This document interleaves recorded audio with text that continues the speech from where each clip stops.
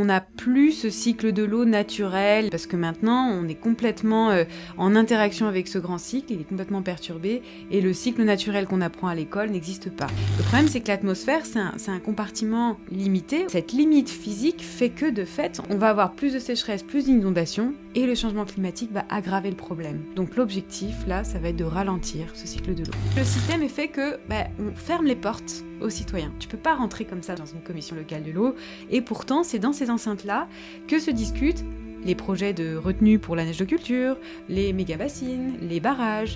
Les collectivités ont des super pouvoirs, ils ont toutes les cartes en main, et si on les met de manière très cohérente dans une optique de régénération et de relocalisation, ça peut être très efficace. Là, c'est une révolution, c'est même pas une évolution, c'est une révolution culturelle et juridique pour dire que les, les fleuves et les rivières sont comme des organismes vivants et ils ont un droit aussi d'exister. Et à l'époque, je connaissais même pas c'était quoi l'eau verte. Enfin, non, Moi non plus, hein. dans ma formation, on n'en a jamais parlé. Hein. C'est un truc de ouf. Ouais, ouais, ouais c'est vraiment tout nouveau. Hein. On commence à peine à en parler.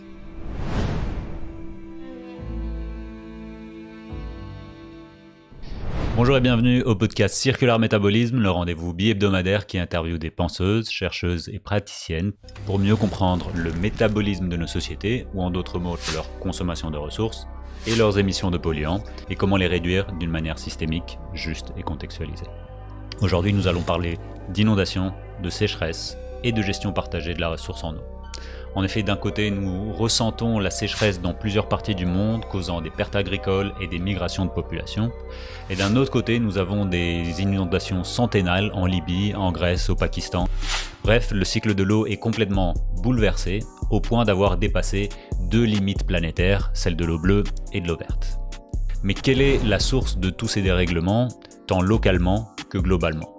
Comment pouvons-nous nous adapter à un contexte de plus en plus imprévisible? Pour nous éclairer sur ce sujet, j'ai le plaisir d'accueillir Charlène Descolonges. Charlène est ingénieure hydrologue. Elle a piloté des études sur le partage de la ressource en eau et la gouvernance de l'eau pour le syndicat mixte de l'aménagement de l'Arve en Haute-Savoie. Elle a également écrit le livre L'eau fake or not chez Tana Édition et finalement, elle est la cofondatrice de l'association pour une hydrologie régénérative. Bonjour Charlène, bienvenue au podcast. Bonjour.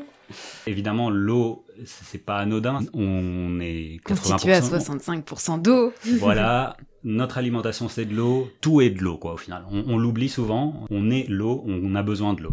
Il y a des termes techniques qu'on va utiliser, on va parler du grand cycle de l'eau, du petit cycle de l'eau, de l'eau bleue, de l'eau verte, de l'empreinte eau. Il y a beaucoup de choses à, à, à décortiquer.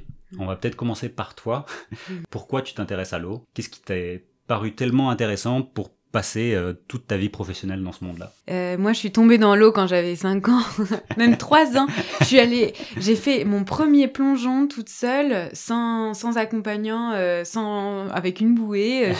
Je suis partie à 4 ans faire un, un, un plongeon toute seule et en fait, après à, à nager toute seule, à parler aux rivières dès mon plus jeune âge.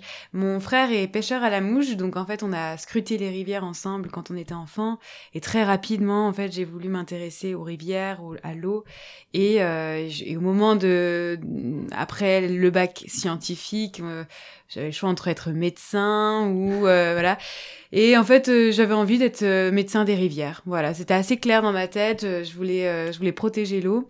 Et donc euh, toujours euh, dans la dans la, on va dire du côté de des forces publiques, des pouvoirs publics pour euh, protéger un bien commun. et donc c'est voilà, c'est une vocation. J'ai toujours voulu parler de l'eau et, et comprendre comment ça fonctionnait. Maintenant à mesure que j'avance, j'ai, je suis partie d'une, avec mes études, hein, d'une approche très rationnelle et scientifique, et maintenant je m'intéresse un peu plus aux approches sensibles. Mhm. On en parlera après, mais mhm. cette mhm. dimension de, de, on est l'eau, c'est ce que tu as dit, et dans l'introduction, ça me parle beaucoup. En fait, on est vraiment l'eau, on est relié à l'eau, et euh, je m'intéresse à tous ces liens sensibles et ces attachements qu'on peut avoir avec l'eau, les hydrosystèmes, et en fait, on se rend compte que les hydrosystèmes, bah, fonctionnent comme notre propre corps, quoi. Donc, ton podcast est vraiment parfait parce que c'est exactement ce que j'essaye de dire. Donc merci pour, euh, pour tout ça, on va en parler. Mhm. Génial. Mais, mais du coup, pas seulement les rivières, il y a aussi les montagnes, tu vas aussi dans les nuages. Euh, si on doit suivre l'eau, évidemment, c'est une épopée assez, assez grande, elle est en trois dimensions. Mm. Euh, c'est quoi ce grand cycle de l'eau? Parce que oh, il faut comprendre que euh, il a toujours existé. C'est ce que tu appelles un, un, un cycle fermé et infini. Mm. Et aujourd'hui, il y a de plus en plus d'inondations, de plus en plus de sécheresse. Donc, Il faut comprendre pourquoi.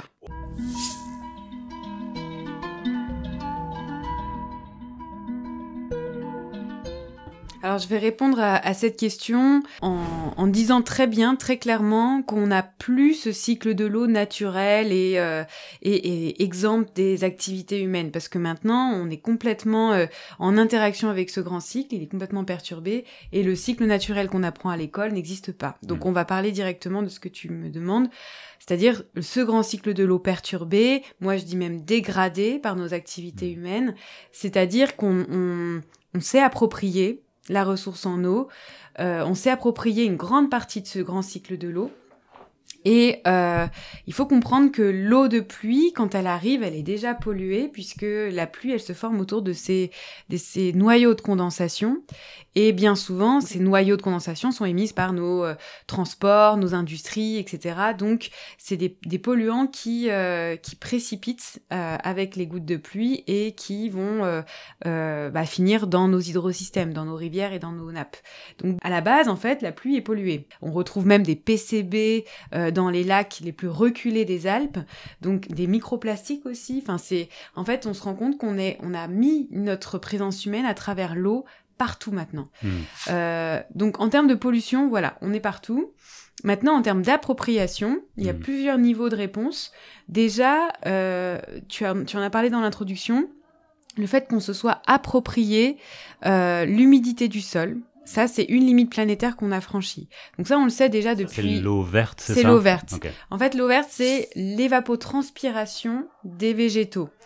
Et euh, l'évapotranspiration, ce processus, est complètement corrélé à l'humidité des sols. D'accord. En clair, faut, faut, faut en France, hein, euh, c'est-à-dire sous nos latitudes, Mm. sur euh, 60% de la, la précipitation, du cumul de pluie, il y en a 60% qui repartent dans l'atmosphère. Ça, c'est le bilan euh, hydrologique général en France.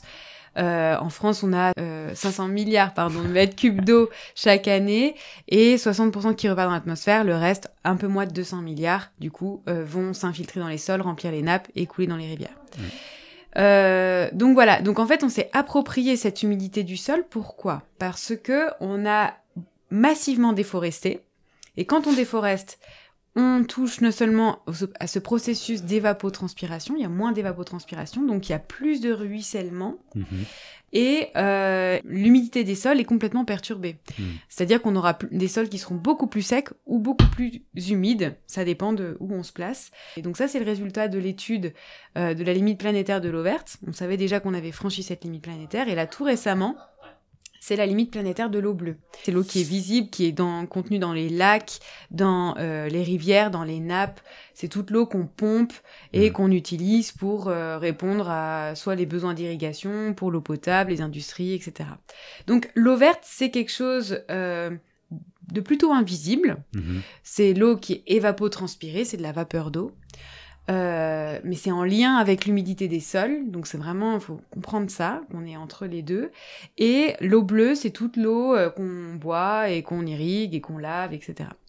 Et il y a l'eau grise. L'eau grise, c'est, euh, c'est reflète le niveau de pollution des hydrosystèmes. Donc euh, reflète les rejets industriels, les rejets domestiques, etc., etc. Quand on fait la somme à l'échelle planétaire de l'empreinte eau bleue, eau verte, eau grise, on arrive à ce chiffre astronomique de 24 000 milliards de mètres cubes d'eau chaque année. Beaucoup de zéros, C'est ouais. beaucoup, beaucoup de zéros. Et c'est entre, pour donner une, une image, la moitié de, de- des débits de tous les fleuves et les rivières qui s'écoulent des continents aux océans. C'est comme si on détournait tous ces fleuves-là et qu'on prenait la moitié, qu'on disait, bah, tout ça, en fait, c'est pour nous. Euh, c'est pour euh, l'agriculture, pour l'industrie, pour la production énergétique, etc., etc., à l'échelle de l'humanité. Mhm. Donc, euh, cette appropriation de l'eau douce à l'échelle du grand cycle de l'eau, c'est quand même énorme.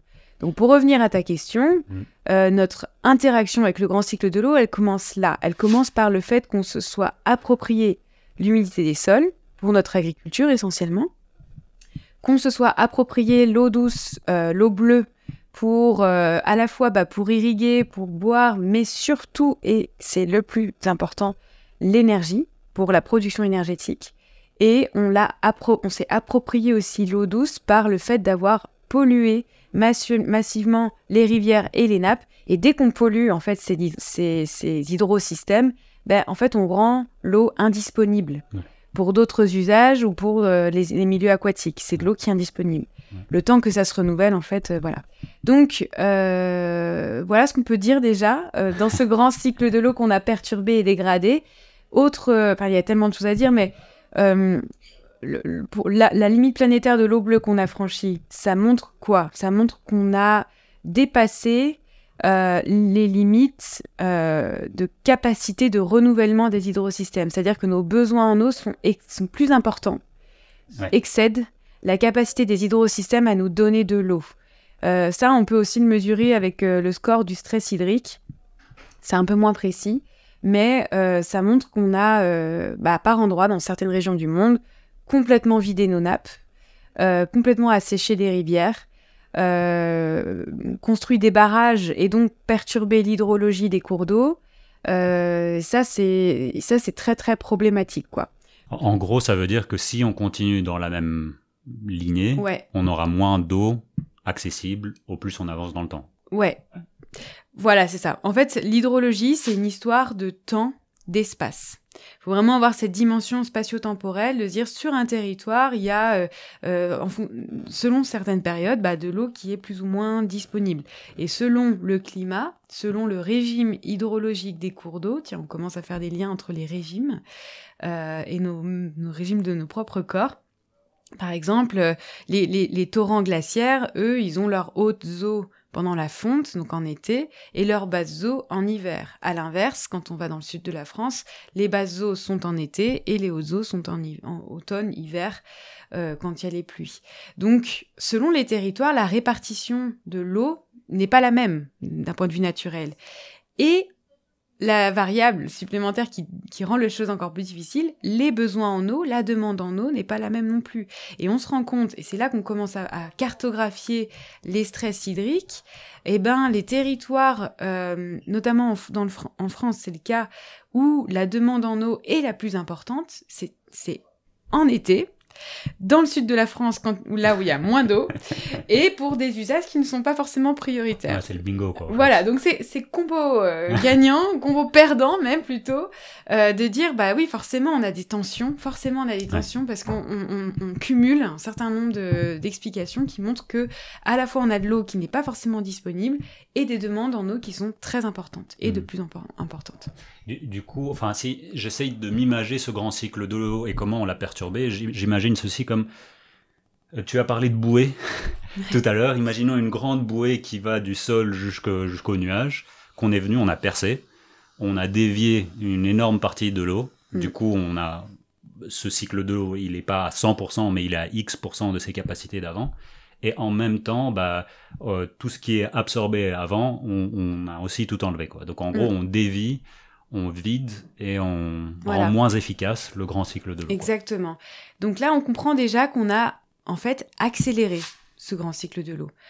Euh, par nos activités très extractives, hmm. euh, on, prend, on jette, on prend, on consomme, on jette, euh, on, s'approprie, cette, on, déforeste, donc en fait on, accélère le ruissellement, c'est ce que j'expliquais tout à l'heure on urbanise, donc on artificialise les sols, on a une agriculture très intensive qui va euh, former ce qu'on appelle une croûte de battance, à force de travailler le sol, etc. Il y a une hmm. petite couche qui va se créer en surface et qui va empêcher l'eau de de s'infiltrer. Donc en fait, on, fait tout pour accélérer ce grand cycle de l'eau. Les processus hydrologiques sont complètement perturbés parce qu'on accélère tout ça. Et le changement climatique va rajouter encore plus d'accélération parce que pour chaque degré supplémentaire, on a 7% de vapeur d'eau en plus dans l'atmosphère. Donc, il faut, vraiment se rendre compte que à chaque fois qu'il fait plus chaud, on vaporise énormément. C'est comme quand on met une casserole d'eau sur une sur euh, sur une plaque de gaz, bah l'eau euh, l'eau s'évapore, s'évapore. Donc le problème c'est que l'atmosphère c'est un, un compartiment limité, enfin un volume limité. Donc, euh, bah, en, recevant beaucoup plus d'eau, il va falloir euh, euh, que cette eau aille ailleurs. Elle ne peut pas, à un moment donné, la vapeur d'eau va saturer, donc euh, elle va devoir précipiter. Donc ce processus physique, cette limite physique fait que de fait, on va avoir plus de précipitations intenses et plus de périodes de sécheresse. Donc on comprend que nos activités, notre manière d'aménager le territoire, notre manière de consommer l'eau, déjà de fait a accéléré ce cycle de l'eau et le changement climatique va aggraver le problème. Donc, euh, on va avoir plus de sécheresse, plus d'inondations. Donc l'objectif, là, ça va être de ralentir ce cycle de l'eau. Dernière chose intéressante euh, que j'ai appris récemment, c'est euh, le fait d'avoir pompé massivement l'eau dans des aquifères très profonds. Les aquifères, c'est les roches poreuses qui sont capables de retenir et de, de circuler l'eau. Plus les aquifères sont profonds, plus ils vont mettre du temps à se recharger. Donc plus on tape dans ces réservoirs qui, euh, qui ont une certaine inertie finalement, plus on va avoir du mal à les recharger et à chaque sécheresse, ils vont mettre du temps à s'en remettre quoi. On en arrive à, ce, à, la situation qu'on connaît actuellement en France, qui est celle des, des de, 65% des nappes n'ont pas euh, un niveau piézométrique, un niveau euh, normal parce que justement on cumule des sécheresses là depuis, euh, depuis plusieurs années, plusieurs mois, euh, et les, les, aquifères ont du mal à s'en remettre quoi. Hmm. Et autre chose intéressante, c'est plus on, prend dans ces nappes, plus on met en surface des eaux qui sont censées être en profondeur et qui ont une certaine inertie, donc une temporalité. On s'est rendu compte que euh, le minage des eaux souterraines, c'est-à-dire hmm. le, le, fait de surexploiter ces ressources, serait responsable d'une de la hausse du niveau marin au global. En partie. Il y en a qui, il y a des chiffres qui varient, mais sur, par exemple, bah, l'augmentation annuelle de 4 mm euh, du niveau de la mer, il y en aurait quasiment 10% qui seraient complètement lié au fait d'avoir mis en surface ces eaux qui sont très profondes. Ces eaux qui devraient rester en, dans, dans, les, dans, les, profondeurs de la Terre ont été mis en surface, donc vont ruisseler, ruisseler dans les cours d'eau et arriver en mer. Et ça, ce serait... Histoire de vase euh... exactement. Donc là, on a été un peu les apprentis sorciers de l'eau, à vouloir euh, euh, tout contrôler, euh, tout accélérer, etc. Et on arrive à des situations catastrophiques. Évidemment, enfin, les personnes qui écoutent et regardent peut-être font le lien avec tous les autres épisodes, c'est-à-dire que c'est la même chose pour euh, les énergies fossiles, c'est-à-dire que oui, ça prend X millions d'années pour fabriquer ceci, et bah maintenant ça va disparaître. La même chose pour les métaux, euh, par exemple, on parle du, du lithium, mais c'est tout le temps ces questions de spatio-temporel, quoi. Exactement. C'est-à-dire, bah, tout est suffisamment disponible en fonction du temps. Tout est, enfin, on peut être soutenable en fonction de euh, l'accélération qu'on fait, quoi. Et mm. c'est un peu notre grosse histoire aujourd'hui, c'est cette accélération. Du coup, peut-être qu'on peut, on, a pressenti l'humain dans, dans, tout ça. Mm. Euh, on peut parler du petit cycle de l'eau qui est vraiment l'humain mm. qui vient taper dans, dans, le grand cycle de l'eau. Mm. Alors déjà, pour faire le lien entre ce grand cycle et ce petit cycle, il faut comprendre que nos usages de l'eau dans ce grand cycle de l'eau sont, sont multiples. Je vais prendre le cas de la France qui est un peu particulier ou sur les 32 milliards de mètres cubes qu'on prélève chaque année dans nos hydrosystèmes, les hydrosystèmes donc dans les nappes, dans les lacs, dans les rivières, etc., la moitié sont dédiés au refroidissement des centrales nucléaires. C'est pour, euh, c'est essentiellement pour euh, les centrales en circuit ouvert parce qu'elles prélèvent beaucoup d'eau, mais elles en rejettent le 98%. Euh, plus chaude, mais voilà. Euh, et cette eau est utilisable Enfin, je veux dire, est-ce que c'est une eau gâchée, entre guillemets Non, parce qu'elle revient dans le système.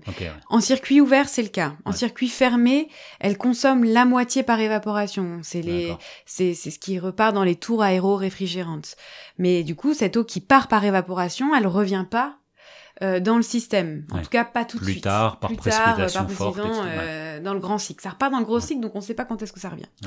Euh, mais les centrales en circuit ouvert, elles, elles, elles, elles, elles consomment pas d'eau, elles prélèvent beaucoup d'eau et elles rejettent dans l'hydrosystème.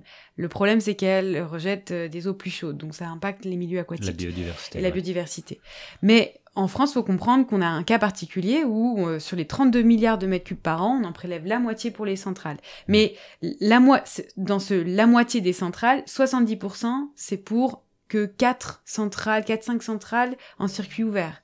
Le reste, c'est euh, pour les centrales en circuit fermé qui euh, prélèvent moins d'eau, mais qui en consomment euh, un peu plus. Ouais. Ouais, sacré compromis. Enfin. Donc c'est pour ça, faut à chaque fois, faut être très vigilant dans ce qu'on parle dans les dans les usages et les consommations. Je fais toujours la distinction entre prélèvement et consommation. Mm prélevé, ok. si on le remet dans l'hydrosystème tout de suite, c'est ok. Par contre, si on, le consomme, et c'est notamment le cas, donc on a dit les centrales en circuit fermé, mais aussi les activités agricoles. Les activités hmm. agricoles, ce sont les principales activités qui consomment de l'eau par irrigation. Donc là, les prélèvements, 32 milliards de mètres cubes par an la moitié pour les centrales nucléaires. Je crois que c'est 20% pour, euh, pour, euh, pour l'eau potable, Ensuite, euh, les, les industries et, euh, et l'agriculture, ça se, ça, ça se vaut quoi. Quand on parle de consommation, donc on est plutôt de l'ordre de 5 milliards de mètres cubes par an. C'est l'eau qui est consommée, donc qui ne revient pas dans l'hydrosystème. Dans ces 5 milliards, 58% sont dédiés à l'agriculture. Donc l'agriculture est le principal consommateur d'eau douce en France, dans le monde même, c'est la, principale, le principal usage, et c'est de l'eau qui est consommée qui revient pas dans l'hydrosystème et qui intervient au moment où on en a le moins de disponible, mhm. c'est-à-dire au cours de l'été, quoi. Et quand on regarde bah, la demande en eau pour l'irrigation, c'est pourquoi? C'est pour essentiellement du maïs ou des monocultures et des, souvent bah, des cultures qui sont destinées à l'alimentation animale.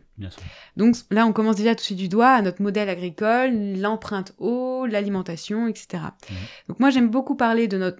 Quand on parle des usages de l'eau, on parle de quoi? On parle de l'énergie, de l'eau potable et de l'agriculture. Vraiment, c'est les trois grands postes, les trois gros sujets hmm. de, nos, de nos sociétés. Donc là, je parle du grand cycle de l'eau et je descends tout doucement vers le petit cycle de l'eau, parce que euh, très rapidement, bah, les hommes, quand ils se sont sédentarisés dans les villes, ont cherché évidemment bah, des points d'eau, euh, se sont installés soit à côté d'un fleuve, d'une source, d'une nappe, prennent l'eau quelque part, l'acheminent, la stockent, euh, la rendent potable, l'utilisent et la rejettent. Historiquement, ça a toujours été de manière très linéaire comme ça. Là, ça, c'est le, début du petit cycle de l'eau qui est arrivé euh, bah, très tôt, hein, depuis, depuis l'Empire romain, euh, où Rome s'est développée grâce à la cloaca maxima, c'est ce, ce, ce, réseau euh, d'assainissement qui permettait euh, à toutes les eaux euh, qui, sortent des termes en fait de d'être évacuées. Donc euh, donc en fait, il faut vraiment se, se, rendre compte que les villes se sont développées grâce à l'assainissement, pas forcément pour le potable, mais d'abord par l'assainissement parce qu'on évacue toutes les, les germes et euh, pathogènes qui pouvaient qui pouvaient provoquer des maladies hydriques.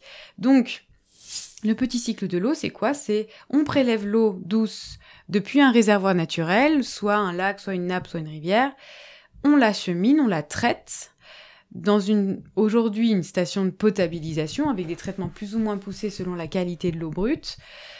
Elle arrive, euh, on la stocke dans un château d'eau pour euh, pouvoir faire tampon en fonction de la demande. On l'utilise. Elle repart dans un autre système, assainissement. Avant, c'était un réseau qui était unitaire, c'est-à-dire qui était mélangé avec les eaux de pluie et, euh, et repart dans, un, dans une station qui, elle, va épurer l'eau pour la rejeter dans le milieu naturel. Ce petit cycle, alors pour l'instant, on voit pas le cycle, mais en fait, il va se répéter euh, d'amont en aval des rivières. Mmh.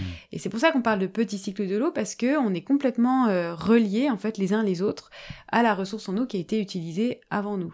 Donc on comprend très bien que par exemple à Annecy ici, le, nous on prélève essentiellement l'eau du lac d'Annecy elle va être euh, euh, potabilisée, puis ensuite euh, rejetée ben, via la station d'épuration de la Crangevrier. Elle va être rejetée dans le Fier, le Fier qui va arriver dans le Rhône, le Rhône qui ensuite va être réutilisé par les Lyonnais, puis ensuite les habitants de Valence, etc., etc. Donc tout ce qu'on fait en amont aura des répercussions en aval. Il mmh. faut savoir aujourd'hui que bah, ça pose aussi plein de problèmes en termes de qualité de l'eau, parce que tout ce qu'on va rejeter nous dans nos toilettes et dans les stations d'épuration, qui ne seront pas forcément digérées par les stations d'épuration, va se retrouver en aval.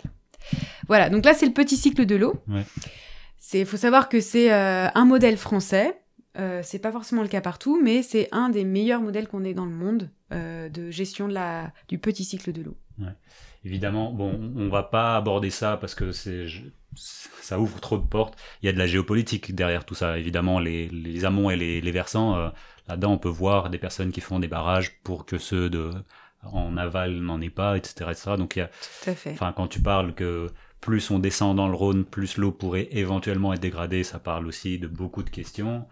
Euh, et puis, il y a toute l'histoire des sociétés, ça j'adore, c'est c'est- c'est mon dada de, de lire dans l'histoire comment ça a évolué, comment le, le tout à l'eau, tout à l'égout Ouais. est aussi venu dans, dans, dans le 19e siècle et a complètement bouleversé, euh, ouvert les pompes euh, Exactement. à, à gogo, quoi. Au développement. Ouais. Peut-être juste une dernière chose sur ce petit cycle, Ouais. euh, une sorte de, de petite révolution en marche.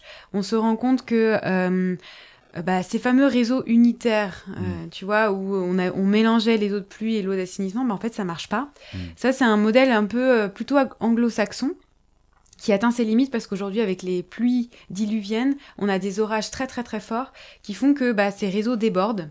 Donc, on a tendance à les séparer et on a créé un troisième réseau, donc un réseau d'eau pluviale qui est déconnecté de l'assainissement et qui lui transporte finalement toutes les eaux de ruissellement les eaux de pluie et les rejette sans traitement Mhm. directement dans la rivière. Donc, ça pose aussi une question de tout ce qui finit dans la chaussée, sur la chaussée, finit directement dans la rivière Les mégots, les tout mégots, ça. les plastiques, Ouais. etc. Euh, donc la tendance actuelle, c'est de séparer les réseaux et de désimperméabiliser les sols. Comme ça, on peut permettre à l'eau de pluie de s'infiltrer la parcelle et de faire tampon finalement Ouais. pour éviter d'avoir des gros coups d'eau dans les rivières après les épisodes d'orage. Il y a beaucoup euh, de, de recherches sur les villes éponges euh, Tout par- à fait. par rapport à ça. Euh, Là-dedans, je pense que c'est important de, de rappeler les chiffres.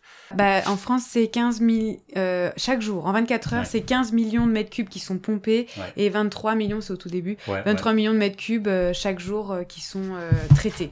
C'est ça. Voilà. Mais, mais c'est quand même un peu le monde à l'envers de se dire que on assainit deux fois plus que ce qu'on enfin, ce qu'on prélève. Quoi. Et ça Parce que ça demande l'énergie. de, l'énergie CO2, ouais. et c'est l'argent du contribuable. Ouais. C'est l'argent qu'on n'a pas euh, qu'on n'a pas. Enfin voilà, notre facture d'eau est, est- est basée là-dessus.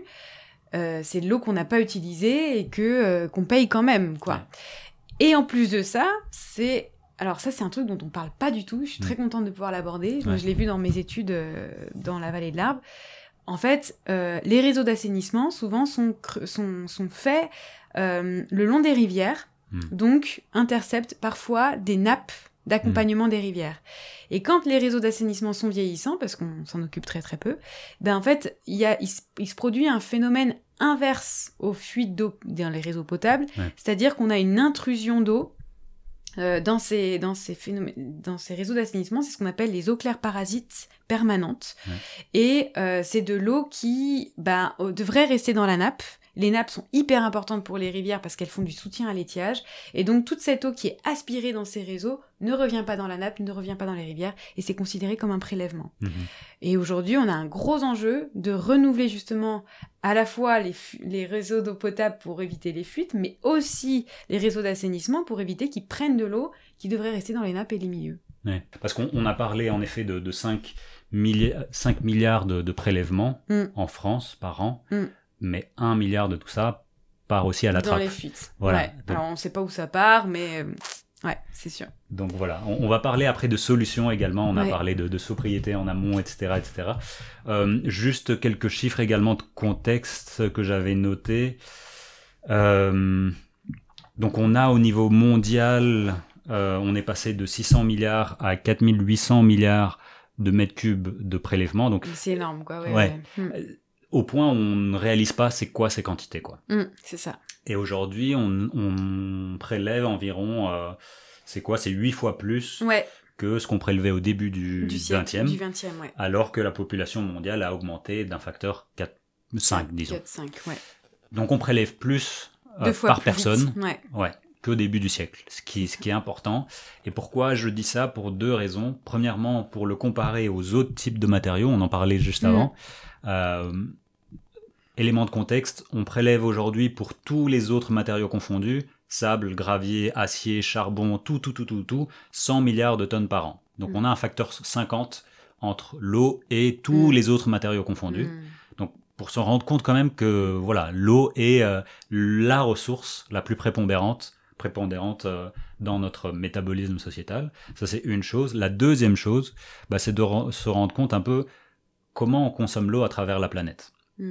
Mm. On a parlé en France de- du, du camembert entre guillemets des, Mm. des usages. Euh, je regardais, c'était des statistiques de la FAO, de l'Association mondiale de, de l'agriculture et, Mm, et de l'alimentation. Euh, donc au niveau mondial, on a 70% c'est l'agriculture, de ce qu'on prélève, Mm. 20% les industries, 10% euh, l'eau potable. Mm. Mais évidemment, ça change du tout au tout en fonction de où est-ce qu'on se trouve. Euh, en Europe, c'est 20% l'agriculture, 50%, 60% l'industrie, j'imagine, c'est l'énergie qui rentre euh, là-dedans. Et puis les municipalités, c'est 20%. Je suis même pas sûre que l'énergie rentre là-dedans. Ah ouais. Non, c'est vraiment les, les, les, les industries qui produisent des, la, la chimie, des médicaments, des, des produits euh, agroalimentaires, etc. L'énergie n'est pas comptabilisée comme euh, un prélèvement. Ah oui. C'est intéressant. Ça, C'est c'est un angle mort. Ouais. Et pourquoi je dis ça, c'est que si on va en Asie, en Afrique, bah, c'est plus de 80% pour l'agriculture et euh, 9% ou 10% pour, euh, pour l'eau potable. Ce que je veux dire par là, c'est que il faut contextualiser ces consommations d'eau avec la population globale également. C'est-à-dire que beaucoup de personnes augmentent leur population et ont besoin d'agriculture locale pour se nourrir. Mm.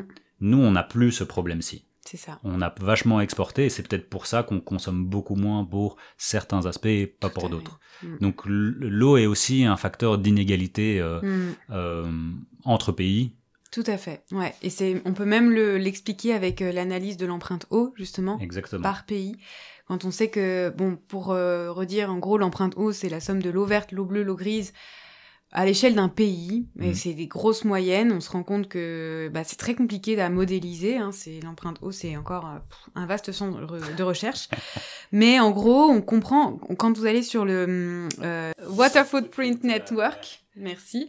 Ils ont, ils ont créé la carte euh, des water footprint euh, pour chaque pays. Et quand vous cliquez sur chaque pays, vous regardez, ben, déjà, la taille de l'empreinte eau est différente selon justement le degré de, euh, de développement euh, de pays industrialisés ou pas. Nous, on est à 5000 litres par, par jour par Français. 5000 litres, c'est ouf. 25 baignoires. Et, Alors euh, que c'est 156 litres, euh, 150 Ouais, litres 150 euh, par jour pour un ménage, quoi. Voilà, pour, euh, Ouais. pour boire, pour l'hygiène, pour un, euh, fuite d'eau potable euh, comprise. Euh, et, euh, et en fait, l'empreinte eau, voilà, 5000 litres euh, qui sont directement liés à notre alimentation. Et là, dans les 5000 litres, il n'y a pas l'eau énergétique, toujours pas. Euh, mais c'est... euh, et, et donc, quand on regarde, on, com- on compare avec un, émiri, un émirati, c'est 8000 litres. Et quand on part avec un, un Africain, un pays un- du pays du Congo, c'est euh, c'est 2000 litres à peine. Et, quand, et ce qui est hyper intéressant, c'est de voir l'eau virtuelle qui est importée par les produits de consommation. Euh, nous, en France, on a euh, 50% de notre empreinte eau qui est liée à tout ce qu'on importe Ouais. et 50% de ce qui est produit euh, sur notre sol français. En Belgique ou au Luxembourg, là, on est plutôt sur du euh, 70% d'importé, Ouais. 70%, et 30% de ce qui est euh, créé sur le territoire. Donc, on se rend compte que dans tous nos échanges internationaux, on importe, on exporte de l'eau virtuelle. Et c'est de l'eau qui, euh, qui est acheminée sur des kilomètres, des, des- des milliers de kilomètres. Euh, et quand on regarde, euh, par exemple, l'aventure d'un jean, c'est une eau, une eau qui voyage, mais qui fait dix fois le tour du monde. Enfin, c'est Ouais. un, un truc de ouf, quoi. Et et- et- et il n'y a, y a pas que le jean, il y a aussi... tous nos objets connectés, nos objets électroniques, euh, enfin voilà, c'est des grandes, grandes quantités d'eau qui voyagent virtuellement. Quelques définitions, donc on a parlé d'eau virtuelle. Vous, vous connaissez tous et toutes certainement l'empreinte carbone, Mm. qui est un peu notre fixette euh, en ce moment. Mm. Bah, c'est la même chose pour l'empreinte hydrique, l'empreinte euh, Mm. eau, etc., etc. Ça veut dire ça. quoi? C'est durant toute la, L'analyse la du chaîne. cycle de vie Exactement. d'un produit. Voilà. Voilà, on regarde euh, l'eau euh, qui a été nécessaire au moment de la production, au moment de la transformation, de la distribution, du recyclage éventuellement. euh, et donc on peut le faire à l'échelle d'un d'un produit. Mm. Euh, voilà, un smartphone, c'est c'est c'est 12 000 litres d'eau virtuelle. Il y a le chiffre qui fait débat du 1 kg de bœuf, euh, 15 000 litres. Donc ça, j'en Ouais. parle dans le livre. euh, je démystifie un peu ce chiffre-là. Mais c'est très complexe. Hein. Faut, qu'on- faut se rendre Ouais. compte que selon les techniques d'élevage, etc. Enfin, c'est d'un pays à un autre, d'un climat à un autre. Et je pense que l'empreinte eau, alors il y a beaucoup de méthodes maintenant, il y en a 15 mais- méthodes pour euh, calculer l'empreinte eau. Il va falloir coupler avec d'autres facteurs, notamment la question énergétique, la question du carbone, la question du stress hydrique du pays dans lequel on produit le- le- le- l'objet en question ou l'aliment. Donc euh, donc c'est un- encore une fois, il y a un vaste champ de recherche. Et moi, j'aimerais beaucoup qu'on parle de l'empreinte eau, évidemment en intégrant l'eau verte, parce que la seule norme Mm. ISO 14046 qui, qui détaille ca- euh, calcul de l'empreinte eau ne tient pas compte de l'eau verte. Or, c'est une limite planétaire qui a été franchie. Hmm. Donc, on a besoin de parler de ça, et on a besoin de relier tout ça à la question du carbone, Hmm. parce que euh, c'est complètement relié, quoi. Donc en effet, c'est ces deux approches qu'on appelle des fois euh, approche territoriale, approche consommation. Enfin, ce qu'on consomme dans le territoire en France, c'est les 2500 litres, disons, et les autres 2500 qui viennent, qui sont importés dans notre Mm. euh, d'autre part. On avait fait cette étude à l'époque à pour Bruxelles. On s'était dit, et c'est quoi l'eau virtuelle de Bruxelles? On était à un facteur de x 38 ou x 40 quelque chose comme ça. Donc on consomme déjà que l'eau à Bruxelles est à 97% euh, Importé. importée. L'eau Trois- bleue. L'eau bleue, Mm. pardon, pardon. Oui, oui, oui. Mais c- à l'époque, je connaissais même pas c'était quoi l'eau verte. Mais ouais. Enfin, euh, non, Moi mais non plus, hein. La- dans ma formation, on n'en a jamais parlé. hein. C'est un truc de ouf. Quoi. Ouais. ouais, c'est vraiment tout nouveau. hein. On commence à peine à en parler. mais c'est- bah, heureusement qu'on complexifie ces, ces paroles et on se rend compte qu'au plus on complexifie, au plus c'est la catastrophe, quoi. Donc, euh, mais, mais bon, on va pas se cacher derrière notre doigt. Et là, c'est un peu toujours, euh, on va en parler euh, maintenant, c'est quel type de compromis on fait une fois qu'on a ces chiffres. Parce que une ville, euh, souvent, elle a ses- sa taille administrative et elle dit qu'elle a le pouvoir sur son territoire, mais pas grand-chose sur l'autre. Hmm. Mais du coup, cette ville va proposer euh, des électroménagers qui sont efficaces en eau, euh, Hmm. mettre des, des chasses d'eau euh, qui sont efficaces ou je sais pas trop quoi.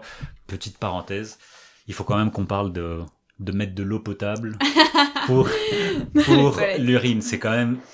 Quand est-ce que... On a... Ouais, Hmm. enfin... Et c'est là où on a parlé des grandes transformations du 19e siècle, le 20e Ouais. siècle. Mm. C'est quand même Une aberration. une aberration totale. Parce que, pourquoi aussi? Parce que c'est aussi l'empreinte azote et l'empreinte phosphore, Phosphore. qu'on élimine Mm. dans les réseaux d'assainissement. On utilise de l'énergie pour Mm. détruire de l'azote et du phosphore Ouais. qu'on pourrait utiliser pour des engrais naturels à la place des engrais azotés qui Mm. sont 5% des émissions globales de gaz à effet de serre. Mm. Donc, enfin, Ouais, ouais. Non, mais aujourd'hui, ça nous semble tellement euh, aberrant et évident. Cette aberration est évidente. Ouais. Mais, mais le problème, c'est qu'on hérite. On hérite de tout ça. Ouais. On hérite d'infrastructures qui coûtent extrêmement cher. Le patrimoine est évalué à des milliards d'euros. Mm. Euh, et malheureusement, euh, va falloir qu'on fasse des choix, comme tu dis, et, et orienter les politiques publiques, les, les euros, en gros, euh, Ouais. nos impôts, vers qu'est-ce qu'on fait, quoi. Ouais. Moi, je pense que dans la mesure où le petit cycle de l'eau, c'est un, un circuit court, entre Mhm. guillemets, c'est-à-dire qu'on prélève, on le rejette, au plus proche de là où on a prélevé, donc le, on va dire le l'hydrosystème qui a été court-circuité n'est pas si euh, ça, ça va poser problème, mais ça va. Euh, on peut toujours faire des économies, on peut toujours optimiser, etc. On en a déjà parlé un petit peu à la- à l'avance, mais le truc le plus important, ça va être la sobriété. Ouais. Et donc, s'il y avait un champ à investir, c'est celui-là, c'est c'est renouveler les réseaux d'eau potable et d'assainissement. Mhm. Ça va être euh, effectivement bon d'optimiser euh, l'eau de pluie, mais surtout faire en sorte qu'on réduise notre demande. Et, euh, et quand on parle des politiques publiques et d'échelle administrative, moi je pense que les élus locaux ont un pouvoir immense Mm. dont ils n'ont pas conscience, mais clairement. ouais. Et euh, parce qu'ils ont en, dans, dans leur carte, dans leurs mains, ils peuvent gérer quoi? L'aménagement du territoire, la politique alimentaire, la gestion de l'eau potable, la gestion des rivières, des milieux naturels, euh, la démocratie, euh, l'économie, en fait, les transports, la mobilité, parce que la mobilité impacte le cycle de l'eau avec le ruissellement, etc. En fait, ils ont tout. Ouais. Ils ont tout. Et donc, euh, et, et- et donc, je pense que s'il y avait des, bon, il y a des aberrations, on les, on les hérite, on les a pas choisies, c'est comme ça. Par contre, on peut faire, en- on peut aider la nature, on peut aider le grand cycle de l'eau à se restaurer. Et ça, c'est un de mes grands regrets du plan eau du Ouais. gouvernement. C'est un plan eau bleu, c'est un plan technologique, c'est un plan euh, qui euh, qui répond à une partie du problème, mais qui occulte complètement la question des limites planétaires, de l'eau verte, des milieux aquatiques, des zones humides qui sont, qui sont en train de disparaître. Euh, et si on devait mettre tout cet argent quelque part, euh, moi, je le ferais pas forcément dans le fait de mettre de l'eau grise dans les toilettes. Mm. Je le mettrais dans la restauration des zones humides, dans la restauration des rivières, dans, euh, dans tout ce qui va nous permettre de faire éponge et, et stimuler ce, grand cycle de l'eau par l'hydrologie régénérative. Ouais. Là, je te tends une perche pour Oui, t'inquiète, euh, c'est noté, hein. on, on va y passer, t'inquiète pas. Mais du coup, c'est ralentir le, le grand cycle de l'eau. C'est ça. Tu as parlé aussi de, des, du choix démocratique. Mm. Je pense que c'est quand même assez important. Euh, pour fermer la parenthèse de tout à l'heure, que par rapport au x38, x40 de, de l'empreinte eau d'une ville, bah, au fait, là-dedans, souvent, c'est aussi pour caricaturer, bah, au fait, ça ne sert à rien de prendre des douches à la place des bains. Ce qu'il faut changer, c'est notre alimentation. Hmm. Et une fois qu'on ouvre les systèmes, Mm. enfin une fois qu'on regarde le long de cycle de vie, bah au fait on se rend compte que les choix sont différents. Hmm. C'est pas juste euh, technique en effet. Mais, l'impact est différent. Finalement, Oui, le fait de prendre euh, une, une douche plutôt qu'un bain, ça va permettre d'aider la rivière ou la nappe qui coule près de, qui est vers chez nous. Ouais. On a un impact direct sur euh, notre hydrosystème et c'est intéressant, c'est important. bien C'est sûr. ça. Non, mais c'est provocateur quoi. C'est pas euh, ouais. Ouais, je suis d'accord. Faut élargir et se dire, ok, on a aussi un impact en fait sur tous les hydrosystèmes de la Terre et on peut agir sur l'empreinte eau. Parce que en plus, comme tu disais tout à l'heure, c'est aussi euh, des déforestations, c'est aussi plein d'autres choses. C'est ça. C'est c'est pas l'agriculture, c'est pas juste l'acte de pomper de l'eau, c'est aussi Ouais. plein d'autres choses, plein d'autres utiliser les les énergies fossiles pour cette agriculture. Enfin, Les pesticides, les engrais, euh, tout. Ouais. Exactement, exactement. Donc je pense que c'est c'est une opportunité rêvée de de de de regarder tout ce qui est en amont, au fait, Exactement. de, de vraiment réparer tout ce qui est en amont, enfin dans dans la régénération. Hmm. Agir à la source. Agir, ouais, bah voilà. bah souvent, donc euh, dans ce que ce que je dis dans les cours, souvent, donc si tu as les deux choses, c'est le end of pipe, donc le bout du tuyau que tu Hmm. répares. Hmm. Donc tu vas mettre un filtre Mm. au bout du tuyau, ou alors tu, tu agis en amont, Mm. et là tu, tu, bah, tu vas à, à la radicalité, à, à la racine du problème. Quoi. D'où ton podcast. D'où les discussions avec toi, Ouais. c'est pour euh, exactement parler de ça. Avant de parler d'hydrologie régénérative, je veux parler de ton expérience professionnelle précédente. Pour parler de la gouvernance? Exactement. Ok.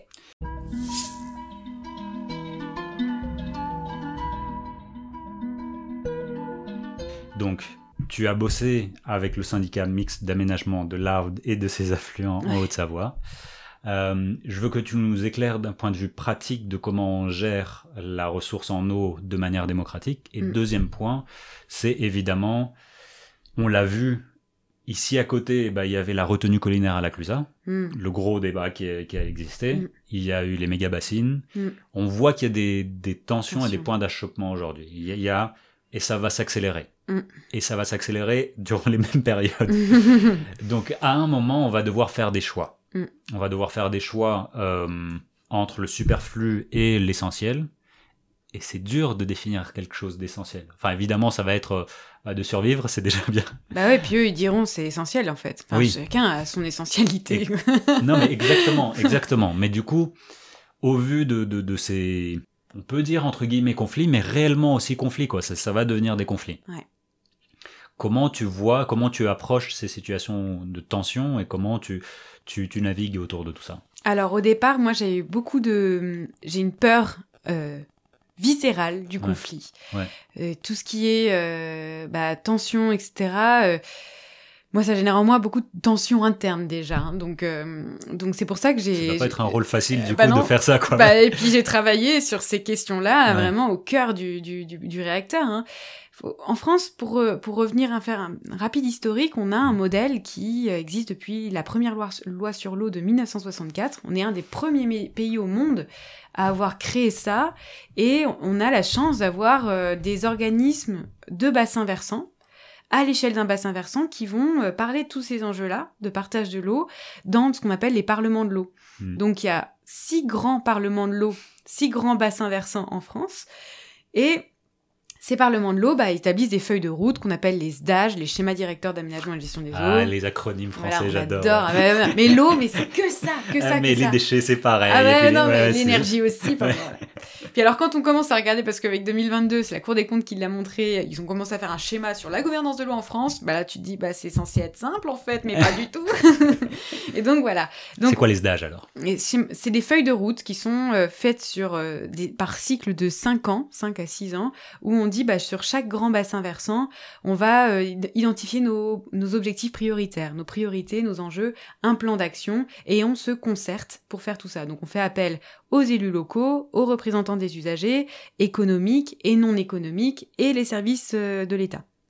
Ça, ça existe depuis 50 euh, ans maintenant. Mmh.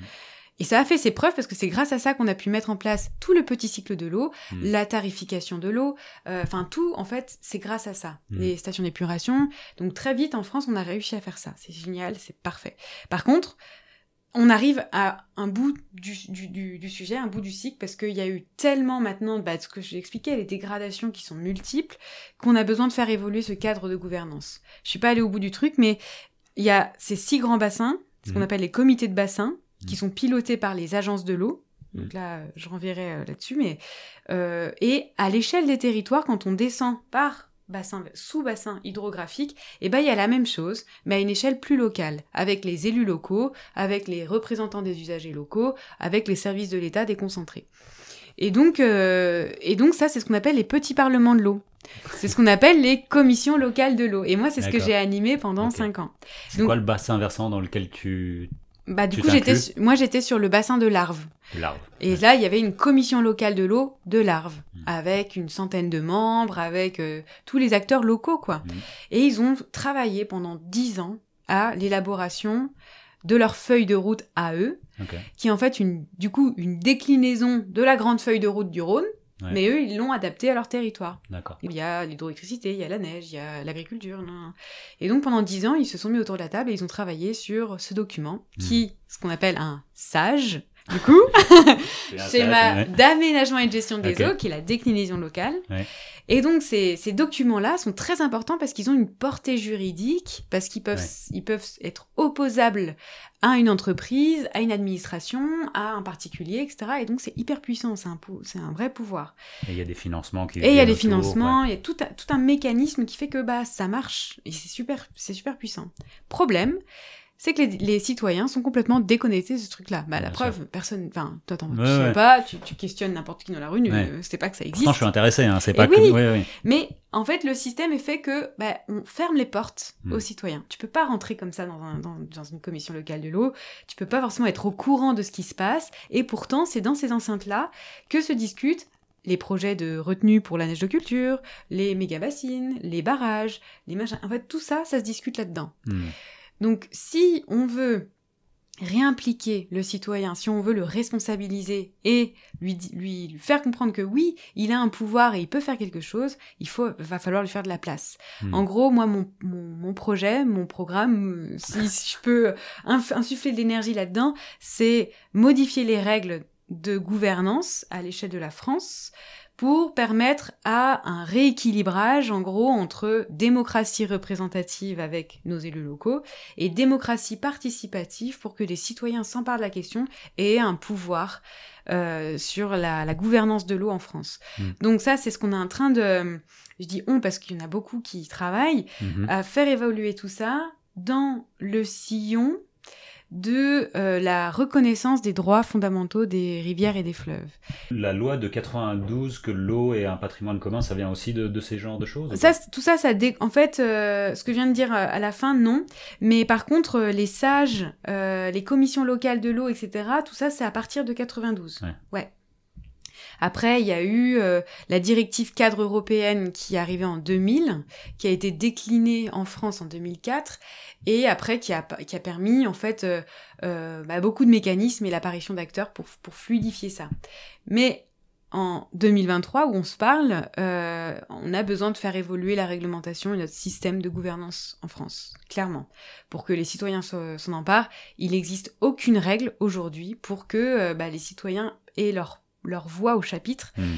et qu'on ait euh, aussi une évolution, mais là c'est une révolution, c'est même pas une évolution, c'est une révolution culturelle et juridique pour dire que les, fleuves et les rivières sont comme des organismes vivants et ils ont un droit hmm. aussi d'exister, hmm. comme les entreprises ont un droit d'exister, elles ont un statut juridique, une reconnaissance juridique. Bah, les rivières, c'est pareil, les lacs, c'est pareil, et ils peuvent aussi bien se défendre en justice si euh, leur intégrité était menacée. Mhm. Donc ça, c'est une révolution qu'on est en train de faire, et quoi de mieux que des citoyens pour s'en emparer de cette question-là. Euh, et je cite très souvent euh, la l'exemple de l'Assemblée populaire du Rhône, qui, pro- qui vient de la Suisse. Hein. C'est les- c'est nos amis suisses qui ont dit « Hey, coucou, vous avez fait un super truc avec la Convention citoyenne pour le climat en France. On aimerait faire la même chose, mais pour le Rhône. ». Et ils ont tiré au sort 25 personnes, Ouais. représentatifs du, du bassin de vie du Rhône, donc énorme, hein, de la Suisse Ouais. à la France. Il y a quelques Suisses, il y a quelques Français. Je suis allée les voir, c'est des citoyens lambda qui connaissaient à rien à la- aux enjeux de l'eau. Et on les a formés. Ils ont, ils ont rencontré plein d'experts, etc., euh, qui leur a ouvert vraiment, euh, qui leur ont ouvert les chakras là-dessus. Et aujourd'hui, ils sont, euh, ils, ils travaillent, ils ont un mandat, c'est de définir des nouvelles règles de gouvernance de l'eau pour à la fois reconnaître bah, le SDAGE, les comités de bassin, les petits parlements de l'eau, etc. Et comment on fait pour que chaque citoyen puisse aussi s'impliquer dans cette démocratie de l'eau? Ouais. Donc à suivre. Et dans ces petits parlements, donc il n'y a pas des associa- associations citoyennes, il n'y a pas. euh, Si, mais elles sont Ouais. minoritaires. En D'accord. fait, Euh, les associations Et environnementales, voix, du coup, on vote Voilà, avec des voix. c'est ouais. des, vo- c'est des votes. Ouais. Mais quand on regarde, en fait, dans, gouvern- dans, dans, dans l'hémicycle, hein, Ouais. euh, 50% des sièges sont pour les élus locaux. Ouais. Donc, c'est des gens qu'on a choisis, mais Plus ou moins bien. euh, voilà, plus ouais. ou moins bien, plus ou moins voulus, Ouais. euh, qui ont des intérêts aussi politiques. Et euh, 25% pour les représentants d'usagers. Et quand je dis Ouais. représentants d'us- d'usagers, c'est très très large. Hein. Ça va de EDF, euh, Hmm. la FNSEA, euh, euh, euh, la Compagnie nationale du Rhône, les chasseurs, les pêcheurs. Et quand on regarde, bah, finalement, dans les, dans les parlements de l'eau, les associations environnementales, il y en a deux, trois, max. Le reste, c'est tous ceux qui ont un intérêt Ouais. pour leurs propres usages. Le BTP, les carrières, et ben tout. Et le dernier 25%, c'est qui? Et ben, les, les, entre- ça va entre, entre 12 et 25%, c'est les services de l'État. D'accord. Donc, agence de l'eau, DDT, euh, DREAL, euh, tout ça. D'accord. Oui, c'est marrant que ce soit les élus qui soient. Majoritaire Ouais, ou que ce soit 50. Ça aurait pu être un tiers, un tiers, un tiers. c'est une pu, euh, vision euh, à la française hein, qui Ouais, oui, vise à dire euh, démocratie représentative. Ouais. C'est ça qui prime. Mm. alors que ces personnes bougent dans le temps et que les services restent là plus longtemps. Enfin, Mm. je dis pas que les services euh, euh, devraient avoir la plus grande voix, mais en tout cas, c'est des personnes qui connaissent le terrain, qui, qui doivent gérer les problèmes dans le long terme et qui ont un intérêt que ça se passe bien aussi. Eh ben, moi, j'ai été dans ces services-là. Ouais. Je travaillais pendant cinq ans et on est écouté Ouais. parfois, mais finalement, les décisions qui sont prises ne sont pas forcément euh, celles qu'on a préconisées, quoi. Mais c'est le jeu, euh, j'ai envie de dire, de la gouvernance. euh, Oui. Et voilà, nous, on est là pour. euh, Enfin, moi, j'étais, je ne le suis plus, mais les techniciens sont là pour donner un avis. euh, charge après à ces instances de le suivre ou pas. C'est le jeu de la concertation après. C'est c'est des choses qui nous échappent et c'est complètement ok. C'est chaque territoire a son à sa dimension, à sa dynamique. Mais le problème, c'est c'est 50% d'élus qui ont des intérêts politiques pour euh, et qui ont des conflits d'intérêts. Ouais. Et là, le problème, c'est comment faire en sorte pour que les citoyens puissent rééquilibrer ça et dire euh, finalement, bah, nous, on est des citoyens, on a compris aussi les enjeux de l'eau et on aimerait que ce soit euh, bah, beaucoup plus en la faveur des milieux aquatiques et euh, pas répondre à vos propres intérêts. Mais j'ai l'impression que voilà, il- malgré nous, on va devoir faire des choix qui, qui vont, ils ne peuvent pas plaire à tout le monde. Aujourd'hui, hein, il n'y a pas suffisamment d'eau pour avoir du superflu, avoir du, euh, euh, de l'essentiel, etc., etc. Donc je me demande euh, comment toi, avec ton approche également, donc ton association pour une hydrologie régénérative, aussi on repense ce qui est essentiel. Hmm. Encore une fois, on va dire que chacun va avoir d'autres visions que de ce qu'est l'essentiel. Mm. Mais bon, quand même, se nourrir est un droit essentiel. Non, pardon. Avoir suffisamment de calories est peut-être un droit essentiel. Ouais, Parce qu'après, on peut dire oui, mais moi, j'ai- je préfère manger ça que ça ou ça que ça. ouais. Disons que le droit à la calorie est un besoin essentiel. Mm. Le droit à un degré de confort est peut-être un droit essentiel. Disons, euh, euh, entre 17 et 19 degrés, j'en sais trop rien. On, Mm. est plus ou moins frileux. Je suis très frileux. Mais bon, je, je peux mettre des gros pulls. Donc on, on peut repartir sur des besoins démocratiques Mm. Et qui font abstraction un maximum de la traduction technologique Hmm. parce que du coup on traduit le choix immédiatement Hmm. sans se poser encore une fois la question à la source. Ouais, ouais, ouais, complètement. Je sais pas comment tu approches toi ça. Alors moi, j'ai une approche assez pragmatique sur les territoires. Je trouve que ce qui est en train de se passer est assez passionnant sur euh, la politique alimentaire, justement. Hmm. Par exemple, ici au Grand Annecy, ils ont la volonté, comme beaucoup d'autres en France, de faire ce qu'on appelle les plans alimentaires territoriaux, ou comment relocaliser notre alimentation pour Hmm. être résilient. Là, quand on pose ça, on se dit, ok, on va relocaliser les flux parce qu'on se rend bien compte qu'avec le pétrole, l'énergie, etc., ça va se tendre. Et on aimerait être résilient, donc favoriser une agriculture diversifiée sur notre territoire. Intégrer aussi les citoyens, nos, les habitants du territoire dans, cette, euh, dans ce travail-là, parce que c'est eux qui disent, bah nous, on a envie de manger ça, nous, on a besoin de ça, nous, on pense que c'est cette alimentation qui nous convient, etc. Et dès qu'on part de la base, dès qu'on part de, de- des besoins des habitants, bah là, ça change tout. Et ça permet de dire, eh ben, pour chaque kilocalorie, ben, on va avoir besoin de telle agriculture. Et donc, qui dit telle agriculture dit tel besoin en eau. Hmm. Et, et là, en fait, on change vraiment tout, quoi. Quand, ça, quand on, on part du territoire et qu'on dit, ben, on veut toutes ces formes d'agriculture, et ben, on fait le calcul et on se dit, bah, en fait, il va falloir tant de, de ressources en eau pour tout ça. Est-ce qu'on en aura suffisamment? Est-ce qu'il faut qu'on se la partage? Comment? Est-ce qu'il faut qu'on construise bah, des réserves euh, d'eau pour euh, euh, bah, irriguer? En fait, là, là euh, tout de suite, quand ça part des, des territoires et que ça justifie une certaine résilience alimentaire et énergétique, on peut très bien se dire, bah, on va construire des petites retenues d'eau pour euh, euh, favoriser euh, un maraîcher ou euh, un agriculteur qui en a besoin pour nourrir son territoire. Mhm. C'est pas, c'est pas pour pour pour l'alimentation animale et intensive et l'export mondialisé qui n'a plus de sens. Donc on, on- là en fait c'est hyper intéressant de partir de ces PAT, ces plans Mm. alimentaires territoriaux qui sont des démarches aussi citoyennes et qui permettent de définir les besoins en eau d'un territoire par rapport à son alimentation. Faut regarder les PAT, faut regarder maintenant aussi bah, du côté énergétique, comment on produit notre énergie, euh, de quelles ressources en eau disposons-nous pour produire cette énergie, euh, et après, ben, PCA, ET, encore des. voilà, des P, encore des- des, des P, des machins. ouais. Mais si on met tout ça de concert et qu'on regarde aussi l'eau potable, donc là je parle de schéma directeur d'alimentation en eau potable et SD, toujours plus, mais tout ça à mettre en cohérence et, et là c'est formidable, on a besoin d'ingénieurs en fait Mm. pour mettre tout ça en cohérence. On, on a besoin de, de, à l'échelle de chaque territoire, de dire ok ça c'est cohérent, ça c'est cohérent, ça c'est cohérent. Est-ce que le sage existe et est-ce que c'est cohérent avec ce que dit le sage? Et euh, ça demande une certaine ingénierie quoi. D'où les études de métabolisme urbain qui essayent de, Voilà. de mettre tout. Enfin, on, on arrive mal aussi parce que au bout d'un moment, l'ingénieur va se heurter sur faire le meilleur modèle possible, faire les meilleurs euh, calculs, euh, collecte de données, etc., etc. Mm. Mais les choix, c'est pas à nous de les faire. Mm. Les Tout choix, c'est aux citoyennes, c'est aux citoyens et les élus ou pas qui les prennent. Mm. Ça m'a pris longtemps pour comprendre que c'est pas une étude euh, Ouais, en mesurant les flux qui va changer le monde. exactement. Ouais. Et là, il faut sortir aussi du, du dogme du chiffre Ouais. et euh, à un moment donné de lâcher et, et de se dire, bah ouais, en fait, c'est chacun prend, chaque territoire prend ses responsabilités. Et ce qui pour moi est le plus important, et là on part, on sort un peu de la science, c'est Mhm. euh, l'aspect humain. Mhm. Relationnel, émotionnel, à son attachement à son territoire aussi, et il nous faut aussi des personnes qui sont en capacité de faciliter tout ça. C'est les facilitateurs, euh, l'intelligence collective, tout ça. En fait, aujourd'hui, on en a besoin de ces gens-là parce qu'ils vont permettre de créer du lien, quoi. avoir une conversation plutôt qu'un conflit, quoi, Exactement. malgré nos, nos oppositions. Hydrologie régénérative.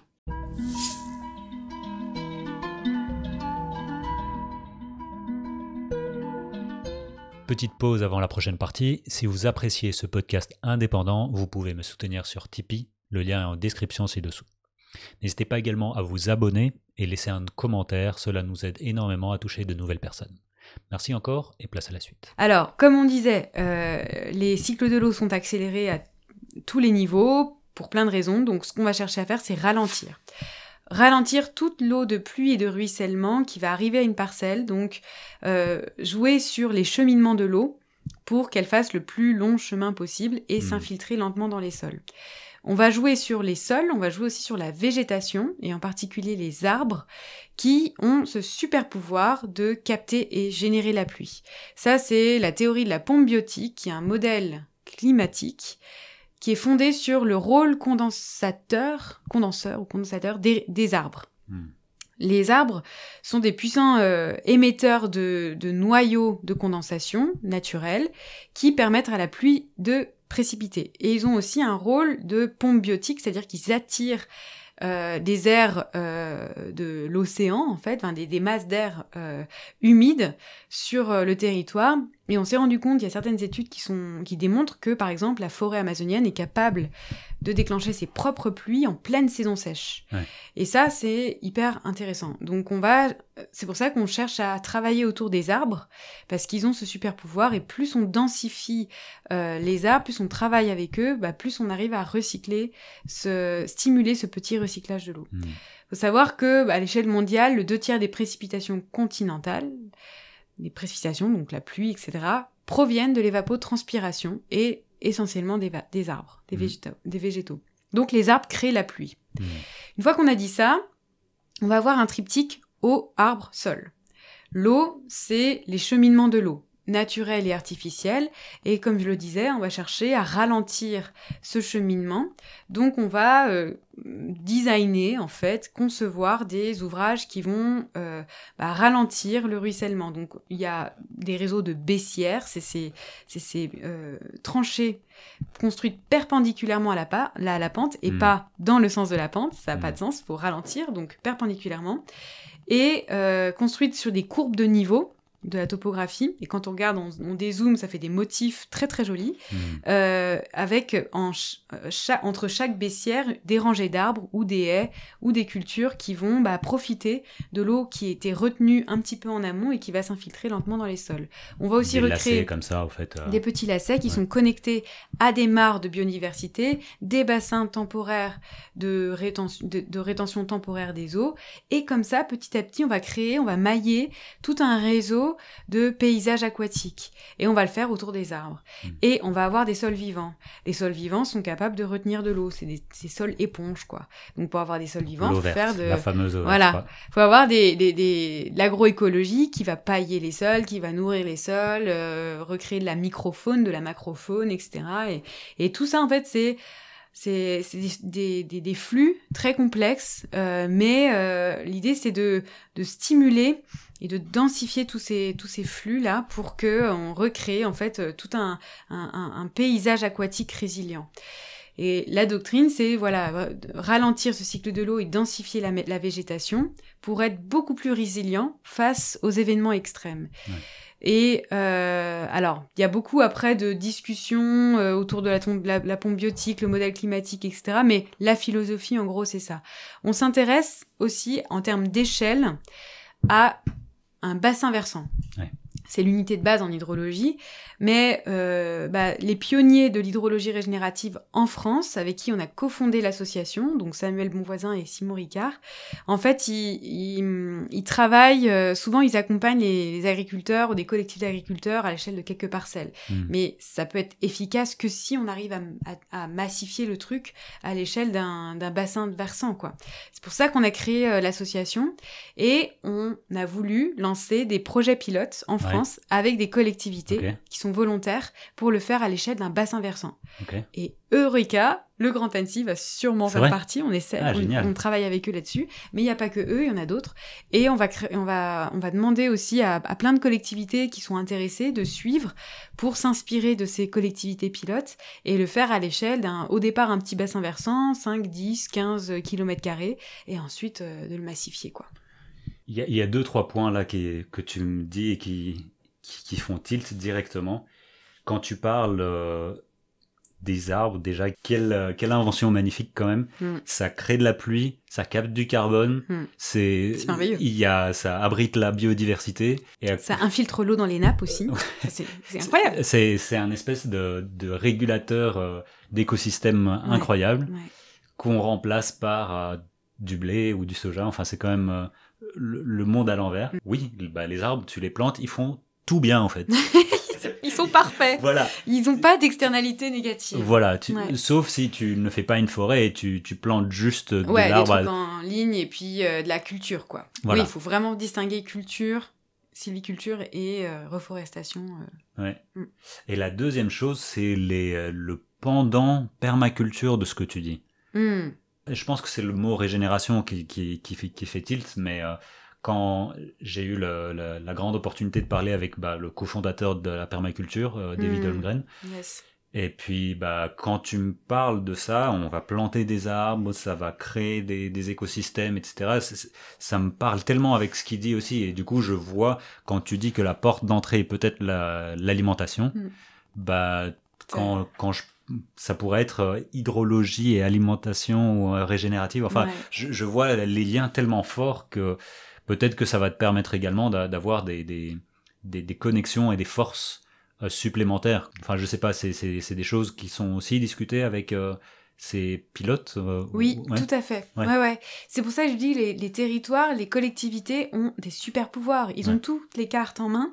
Et si on les met de manière très cohérente dans une optique de régénération et de Mm. relocalisation, ça peut être très efficace, quoi. Mm. Euh, et ouais, et en fait, pour dire par rapport à la permaculture, c'est complètement connecté. Hein. Ouais. L'inventeur, l'initiateur de l'hydrologie régénérative dans le monde, c'est Percival Alfred Yeomans, qui était un, un agriculteur australien et qui était en lien avec euh, les, ouais. les permaculteurs euh, David Holmgren et voilà. Donc euh, oui, oui, c'est complètement en lien, ouais, ouais.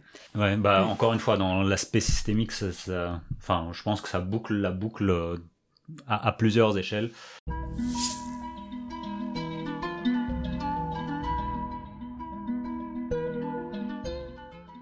Qu'est-ce qui t'anime, toi? Qu'est-ce que- C'est quoi ton combat euh, en ce Mm. moment? Enfin, je veux dire que tu, as l'assaut, tu, tu as écrit le bouquin, tu travailles avec les collectivités. C'est Ouais. quoi un peu ton, ton, ton- ta bataille quoi en ce moment quoi? Ma bataille, c'est de transmettre tout ça, tous Ouais. ces messages. Donc euh, d'être dans la pédagogie, de montrer que il y a d'alerter sur la maladaptation. Euh, tous ces fausses bonnes idées Ouais. euh, qui, euh, qui nous précipitent vers le problème. Donc attention à ça. Donc moi j'alerte tous les pouvoirs pub- publics au plus haut sommet de l'État. Je suis allée rencontrer le ministre et tout. Mm. Donc j'essaye d'alerter à tous les niveaux et de transmettre des messages pédagogiques et en même temps de montrer la voie des, des, des, des voies de régénération et des voies qu'on n'a pas qu'on n'a pas ou peu explorées. Donc il y a Mm. l'hydrologie régénérative, c'est en marche, le mouvement là, euh, ça ça, ça coule. Euh, Tu vois, c'est c'est malgré toi. hein, non, mais je suis complètement habitée par l'eau, c'est fou. Et euh, et donc, s'il y en a qui veulent être intéressés, qui sont intéressés par ça, je vous invite à aller voir le, notre site internet hydrologie-régénérative.fr. C'est une association, on peut adhérer, don libre, voilà. Et euh, mon deuxième combat, mon deuxième gros message, c'est ce, ce dont on a parlé un peu, c'est l'engagement citoyen. Mm. Et c'est sur la reconnaissance des droits fondamentaux et ou comment devenir gardien et gardienne de son hydrosystème, de sa rivière. Voilà, Mm. moi c'est la- et, et- et- et petit à petit, je vais sortir de la science, mais je vais aller rencontrer ces peuples autochtones qui Mm. ont une relation très forte à leur rivière. Quel message ils ont à nous dire? Quel message ont à nous dire ces rivières? Qu'est-ce qu'elles, voilà, qu'est-ce qui se passe quoi Mm. Euh, Et de manière un peu plus sensible. Mm. Voilà, je pense qu'il y a un, un, un mi-chemin entre la science et les savoirs euh, ancestraux Mhm. qui euh, bah, sont hyper complémentaires en fait. Donc je crois qu'il y a plein de programmes en cours là, de la recherche qui va s'y intéresser. Bien sûr. Bah oui, enfin, le cadre des biorégions peut-être aussi va Exactement. être, ouais, va être quelque chose de fondamental. Je- Voilà. Je, sais pas, tu voulais euh, parler de ça non Ouais, donc Ouais. dans la continuité, bah, s'il y en a qui veulent s'intéresser à ça, il y a euh, euh, Marine Calmet qui a lancé Ma rivière, c'est moi. C'est un programme d'engagement citoyen autour des rivières. Euh, Ma rivière, c'est moi, en, avec, en partenariat avec l'association Rivière Sauvage et Wild Legal, qui est sa structure. Euh, donc voilà, c'est tout le mouvement des, de- des droits de la nature pour euh, bah, reconnaître les droits fondamentaux de la nature. Donc là, c'est work in progress, mais euh, voilà, s'il y en a qui sont, qui ont des, des, choses à me faire remonter, des témoignages et que ça, faut pas hésiter à venir m'en parler parce que ça m'intéresse beaucoup. C'est quoi ta marinière? On, Ah on s'est mis à l'occasion ouais. de, de l'épisode, on s'est mis les deux. Voilà, merci de poser la question. C'est aussi une association qui me tient très à cœur et merci euh, de leur donner cette visibilité. C'est la Water Family, qui est une grosse association nationale d'éducation à la préservation de l'eau, dès le plus jeune âge, dans les écoles, ils interviennent gratuitement pour euh, reconnecter les enfants aux rivières, justement, leur parler de l'eau et de l'empreinte eau. C'est les Mm. seuls à en parler, un des, des seuls à en parler de l'empreinte eau. Donc l'alimentation, donc ils vont aller voir des fermes en agroécologie et tout, enfin, un truc de ouf. Et, euh, et voilà, aller sur leur site internet, ils ont plein de documentation pédagogique pour les enfants et tout, des Ah, jeux. euh, et voilà, la Water Family. Cool. Est-ce qu'il y a quelque chose, euh, un podcast, un livre, un film, quelque chose que tu aimerais partager pour un peu s'inspirer, pour euh, continuer, pour euh, continuer à explorer cette thématique? Alors, il y a cette association qui s'appelle euh, Tudukwa, qui est une association qui euh, aide les Kogi à, euh, à racheter leurs terres pour régénérer la forêt. Et, euh, et les Kogi viennent souvent en France pour, pour nous apporter cette lecture sensible des paysages et des rivières. Donc là, ils vont arriver, euh, ils vont arriver bientôt en octobre pour, euh, pour le Rhône. Uh-huh. Et il y a une série de conférences qu'ils vont faire euh, dans, le long du Rhône et euh, à Paris pour, euh, pour Ah, témoigner. C'est avec Éric Julien, qui est un super euh, géographe euh, et, et- et- et porte-parole de, de ces, de ces peuples-là. Euh, Il y a plein de choses, vraiment, il y a plein de films, il y a plein de documentation. Et puis, euh, il y, a le- il y a un podcast qui me parle beaucoup, c'est euh, c'est Nouvel Oeil euh, Ouais. de Victoria Guillaumont. Et qui, elle part là, euh, à la fin du mois, pour un voyage, euh, un projet qui s'appelle Shimla. Vous pouvez suivre et en fait elle va faire une sorte de documentaire des, euh, des inspirations autour de l'eau, des projets autour de l'eau, comme demain le film de Ouais, Cyril ouais, Dion. Elle veut faire la même chose pour l'eau mais en voyageant à bas carbone, enfin c'est-à-dire à pied, euh, à dos de cheval ou je sais pas comment, mais sans avion. Euh, six mois jusqu'en Inde pour euh, faire un reportage sur l'eau. Génial. Donc voilà, je vous invite à suivre ce son aventure, c'est extraordinaire. On va essayer de mettre tous les liens en, en description, euh, que ce soit en audio ou en vidéo. Merci également à vous toutes et tous euh, d'avoir écouté jusqu'au bout. Écoutez, je pense que c'est un, un sujet qui nous habite. Enfin, l'eau, comme j'ai dit au début, c'est vraiment essentiel. N'hésitez pas à toquer à la porte des petits parlements, essayez vraiment de vous emparer de cette question-là. Euh, Il y a un épisode qui me vient en tête, c'est celui avec euh, Fabien Esculier sur le bouclage des flux d'azote et de phosphore, où on parle énormément euh, avec les liens de l'eau. Donc c'est peut-être un, épisode que je vous recommande. Merci beaucoup, euh, Charlène. Merci à toi, à très bientôt.